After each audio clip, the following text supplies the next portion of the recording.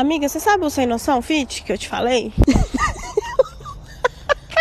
Amiga, saiu do serviço, me mandou mensagem, falou, ó, oh, deixa eu ir pra sua casa hoje. Eu falei, ó, oh, ele tá morrendo de fome. Eu falei, ah, minha casa agora é restaurante, né? Eu falei, não, não vou fazer janta não, filho. Aí ele pegou, não, eu levo. Mas você deixa eu fazer, usar sua cozinha? Eu falei, lógico, vai fazer comida no quarto? Você vai trazer a comida, você tem que fazer, né? Amiga, chegou aqui com dois ovos. Dois ovos, velho. O que, que, que a gente vai fazer com dois ovos? Aí eu tô, fui tomar banho, né? Ele chegou tal, foi organizar as coisas lá na cozinha, eu fui tomar banho. Pois ele pegou minha caixa de ovo e não entarrar cozinhando meus ovos, tudo. Eu falei, meu filho, o que, que, você tá fazendo? Ele, ah, é porque eu como no mínimo 30 ovos por dia. Eu falei, ah, então você tem que comprar uma galinha, né, meu filho?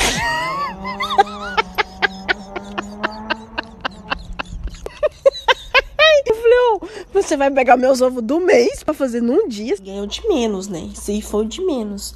Aí ele pegou, na hora de dormir, deitou aqui no colchão e tal. Aí mexia pra lá, mexia pra cá. Ele, nossa, esse colchão aqui não é da Ortobon, né? Eu falei, ai meu Deus, agora pronto. Aí eu falei, não, não é não. Ele, ai, é porque eu só durmo no, no meu, né, da Ortobon. Eu falei, ah, mas esse aqui é da marca Melhor que.